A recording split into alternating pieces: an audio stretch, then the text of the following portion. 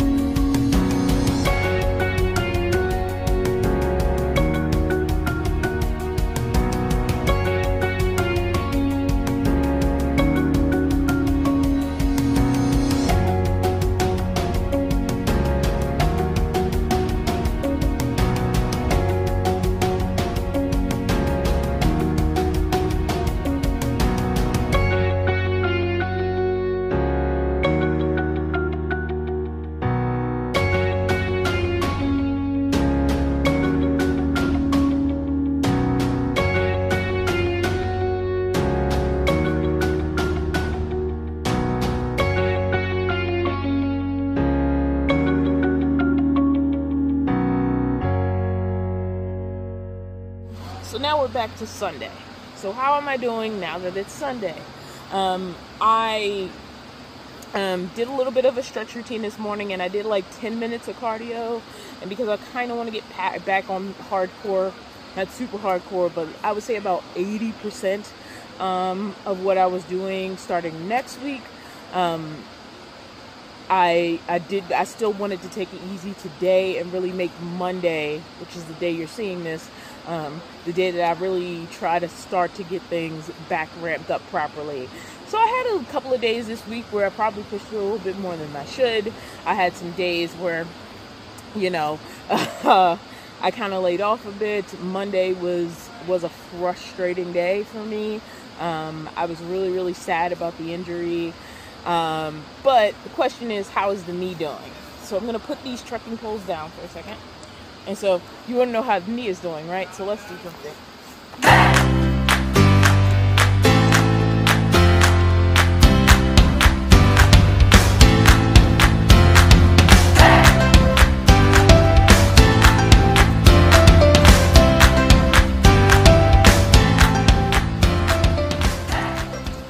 Alright, that was just me being silly.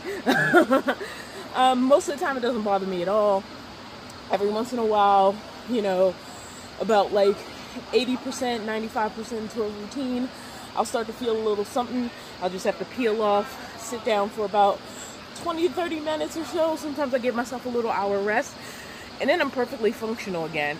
Um, I'm not really having any noticeable issues as of this point that are really debilitating. Sometimes with injuries, all you can do is let them heal. And right now, I'm not seeing any signs that things are getting any worse. So that is good. Now, the big question of the week. Let's just go ahead and get into it. Did I lose any weight? Before I get into this, um, I'd like to mention that last week I lost a lot of weight and I was still disappointed because I couldn't move. And I knew that would be a big setback. My inability to like move around and get going and do the things I was doing. So that was like super frustrating. Whereas the end of this week, I'm feeling very hopeful about um, moving forward, about being able to do things again. But according to my scale, I gained two pounds. So I went from 308.8 last week to 310.8 this week. I will say the more I sit around, um, the more I think about um, eating out of boredom. And I've always known that's a problem for me. So it's just something I deal with. Um, I still didn't, I still was doing my protein shakes every morning. I think I might have had salads for lunch four out of five times this week.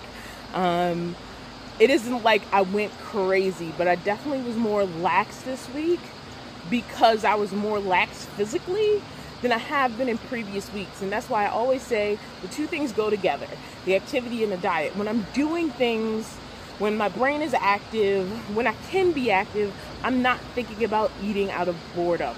And boredom eating is one of my biggest like problems and one of the biggest things I'm working through. So that's all I got for this video. That's all I got for this update this week. I'm hoping even more improvements next week. As far as physically, I do I feel sort of the laxness of like the last week just trying to let the knee recover, but I also like I don't feel like I lost any of my major energy if that makes any sense. I don't know. All right, really End of this video. I'll see you in other videos this week. And on this particular subject, we'll check in again next Monday. As we close out this video, I'm just going to show you some footage from my walk in and around Lithia Park.